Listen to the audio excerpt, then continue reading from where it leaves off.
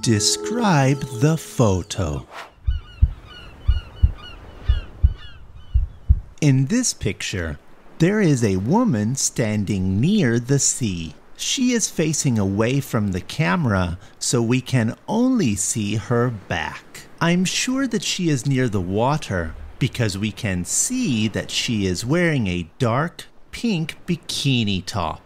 She is holding a pair of sandals over her left shoulder, and her right hand is up on her head holding a straw hat. Straw hat. Maybe she is trying to keep it from blowing away in the wind. She has long, straight hair, and I'm guessing that she is pretty. In the background, we simply see a blurry view of the sea or the ocean. In summary, it looks like she is having a nice, relaxing day at the beach.